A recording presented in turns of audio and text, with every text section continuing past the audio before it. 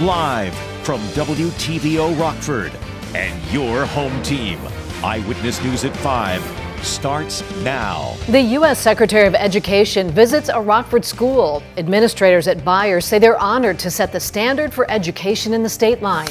Plus, experts warn college students to watch out for scammers. One local organization says a common trick centers around credit cards. And a pop-up food bank this weekend's in dire need of volunteers. Organizers say if you can't make it in person, there are other ways to support the effort. Good evening. I'm Mimi Murphy. And I'm Eric Wilson. A Rockford woman is arrested after police say she called 911 nearly 700 times. Teresa Loans was taken into custody yesterday. Starting on August 31st, the Winnebago County Sheriff's Office 911 Center began receiving numerous 911 calls from the same number, then the caller would hang up. Between August 31st and September 6th, a total of 694 hang up calls were placed. An investigation led detectives to Loans' home where officers found the phone used to make the calls. Loans has been charged with false alarm to 911. The U.S. Secretary of Education makes a stop in the Forest City. It was part of his back to school bus tour, Raise the Bar. The tour highlights ways public schools and communities are creating high level education. Cal Delgado was there. Cal, how'd it go? That's right, Eric and Mimi. Kids were excited to have special guests in their classrooms, but administrators are even more honored to be one of the schools that are setting the standard for education. When they're in kindergarten, when they're in first grade, and second grade, they're ready to learn. U.S. Secretary of Education Miguel Cardona stresses the importance of early childhood education during his visit to Beyer Early Childhood Center in Rockford. The first class we went to, um, the students were learning and they were talking to me in, in two languages. They were code switching right away. Like, for them, it's just how they communicate. How powerful is that? Let's continue to nurture that. From family engagement to bilingual services to meeting the needs of children with disabilities, Executive Director of Early Childhood for the Rockford Public Schools, Kim Nelson says the district's goal is to help every child learn and grow effectively. We have worked really hard to make sure we're maintaining the highest quality, building relationships with our children, focusing on their social emotional learning, and really staying true to the development of our young children so that they learn those foundational skills needed. This week, the U.S. Department of Education launched its Kindergarten Sturdy Bridge Learning Community Program. It's a multi state effort to transform how students experience kindergarten. I want to make sure that children and teachers, staff, and volunteers all across my district have what they need, the resources to be successful. Because I believe it shouldn't matter what zip code you're born in or the zip code that you live in to determine your level of education.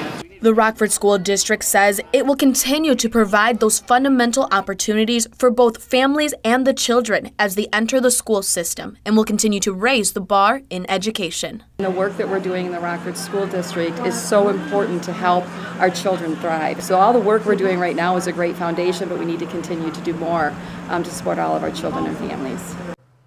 The next stop for Raising the Bar bus tour is Madison, Wisconsin, talking about career and technical education. Mimi? All right, thanks, Nikel. Dozens of local organizations team up to increase state line literacy. United Way, along with nearly 30 other local literacy focused organizations, announced a new program to improve Winnebago County's low rates. Just one in three children in the county are reading at or above their grade level. The new collaborative effort will use parental engagement, caregiver support, and community awareness to combat the problem.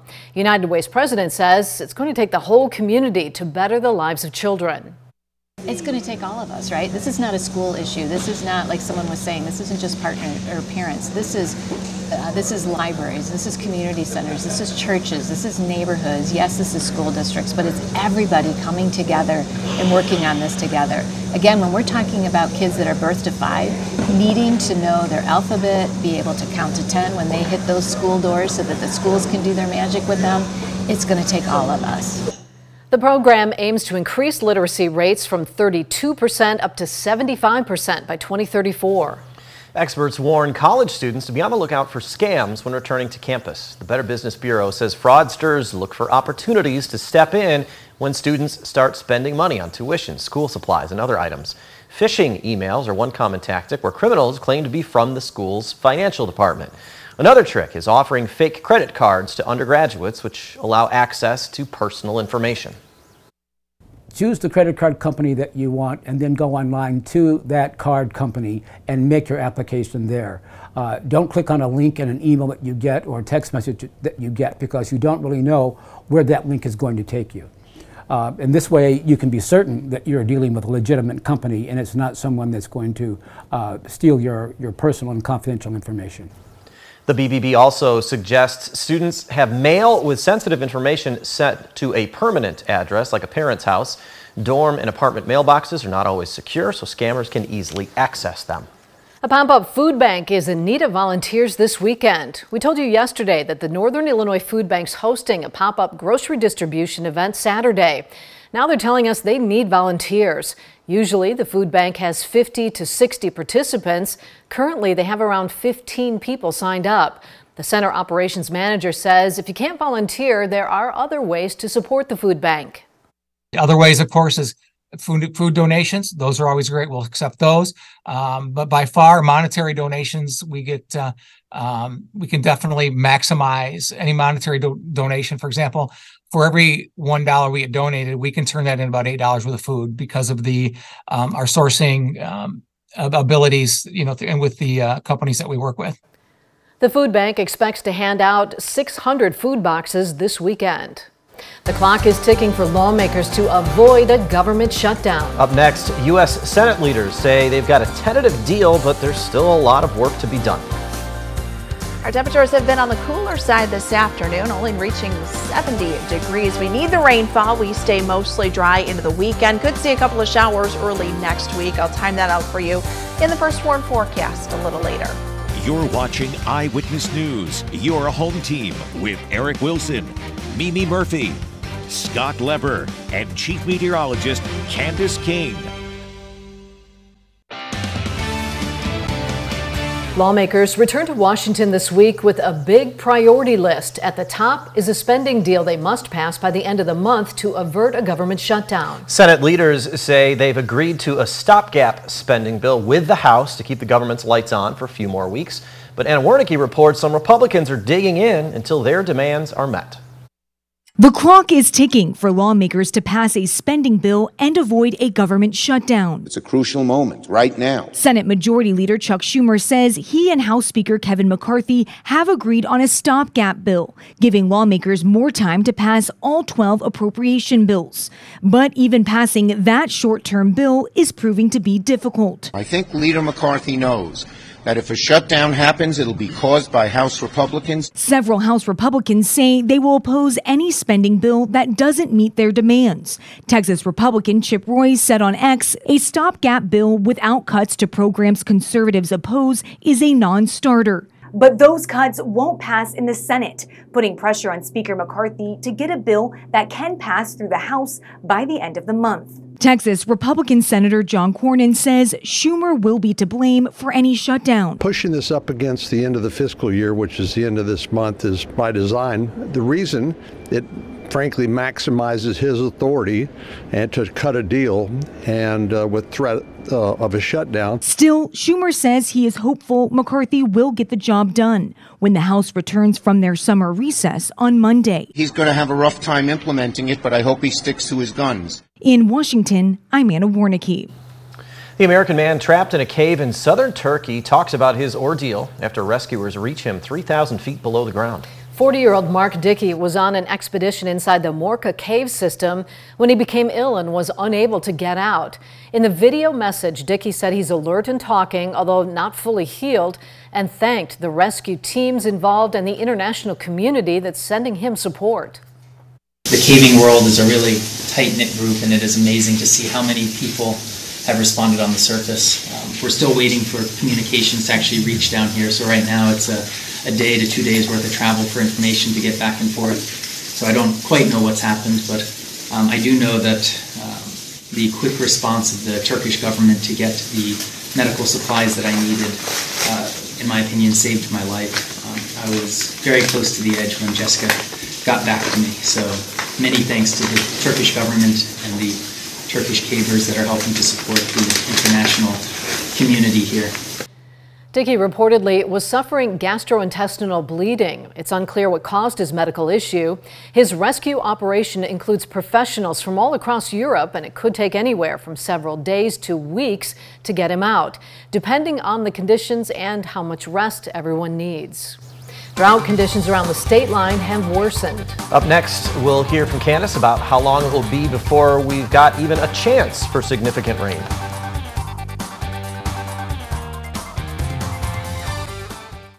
Now, your first warned weather forecast from Chief Meteorologist Candace King.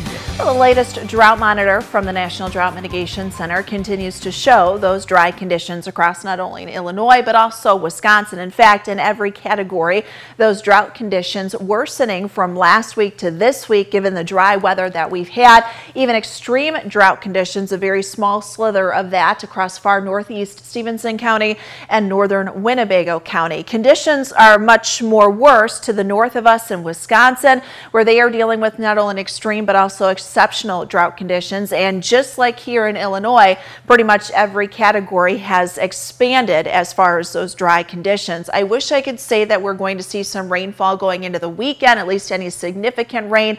Just does not look like that. Our hope for some showers going into next week is there with a cold front that comes through. This will be lining up to the northwest of us Sunday night going into Monday, Tuesday of next next week. And this will bring us a chance for a few showers, maybe an isolated thunderstorm or two. Prime time for that looks to be Monday into Tuesday, with then some lingering showers lasting Tuesday night and possibly into Wednesday. Just depends on the timing of the front. Right now, that precipitation looks to be under an inch, which is far less than what we really need to help bring us up out of those drought conditions. And this is also a little concerning as we look into the middle here of September. Higher probability for below average precipitation really kind of centered here over northern Illinois and southern Wisconsin. And that kind of feeds into a cooler pattern that we could also be getting into towards the middle to end of next week. Average high temperature in the mid and upper 70s. Those numbers actually next week could be a good 10 degrees below that that. So a little bit of cooler weather sticking around, somewhat similar to what we had out there today. Temperatures struggled to even make it above 70. 70, that was our high temperature so far today. We're down to 69 in Rockford, Freeport, same thing in Rochelle, 70 in Sterling, Savannah, and 67 right now in Galena, our weather watcher. Terry and Genoa this last hour with a northerly wind, 68, dew point temperature at 59. Cloud cover something that'll stick around going throughout not only this evening, but also the overnight temperatures tonight will drop down to 59 degrees. We'll maintain that northeasterly wind. We've got cloud cover that is most likely going to stick around for the first half of the day tomorrow. This again will have an impact on our temperatures, upper 60s, low 70s for Friday afternoon, but we'll start to see things clear out a little once we get into Friday late afternoon and evening as high pressure builds in. All of this cloud cover, the results of low pressure working out through the eastern Great Lakes. You've got a couple of showers tied into a weak disturbance moving through parts of South Dakota back through Nebraska. This, for the most part, is going to pass to our west and southwest, but it may keep some of that cloud cover kind of sticking around. Notice even as we go into the day tomorrow, we've got clouds for our Friday. Small chance for a sprinkle or two just to the east of us. I think any measurable rainfall is going to stay fairly low at this point, but we should start to see things things clear out once we get into Friday night. Areas of fog will be possible during that time leading into Saturday. Weekend looks pretty decent. We get a little more cloud cover, guys, once we get into Sunday, but then those temperatures drop back again by early next week. Big changes next week, right, Candace? Mm. Thanks. Wisconsin next with sports. The NFL season set to kick off tonight. He looks ahead to the Lions game against the Chiefs, and he'll have his predictions for the NFC North this season. Now, sports with sports director Scott Leber.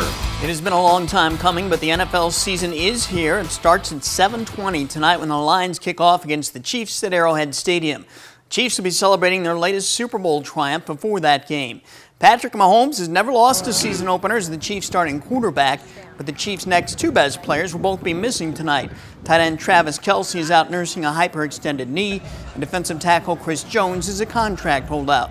The Lions hope to pick up where they left off last season when they won eight of the last 10 games.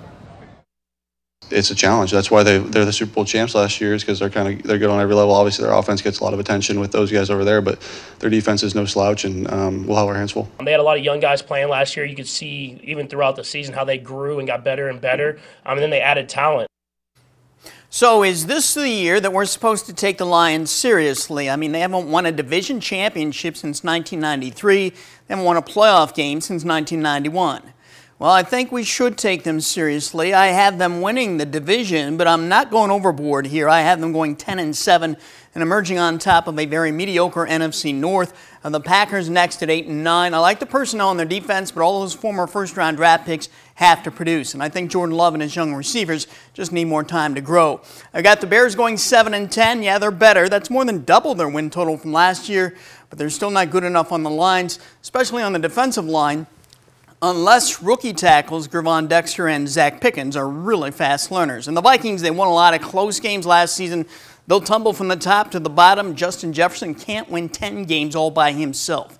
In the AFC Championship game, I'm going with the Bengals over the Steelers. That's right, the Steelers. That's asking a lot of a team that has Kenny Pickett at quarterback. The Steelers are loaded everywhere else, especially on defense, and in the cold of the playoffs, they'll be a tough out. In the NFC, I have the 49ers getting by the Eagle. Last year, the Niners were loaded everywhere, and even though Brock Purdy is young, I love the way that he reads defenses and makes quick, good decisions. At the end of the season, he could be in the conversation as one of the top five QBs in the NFL. In the Super Bowl, I have Purdy and the Niners defeating the Bengals to win it all. Well, the Cubs go after their fifth straight win tonight. They're going to host the Diamondbacks. That's sports. We'll be right back.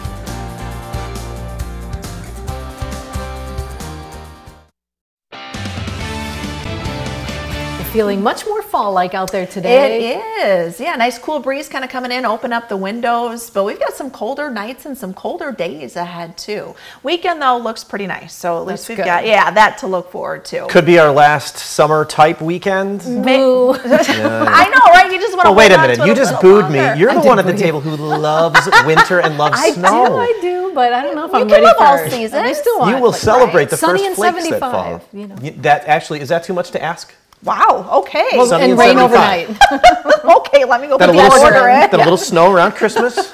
go. Back to sunny and 75 a couple weeks Get later. to my magic computer over there.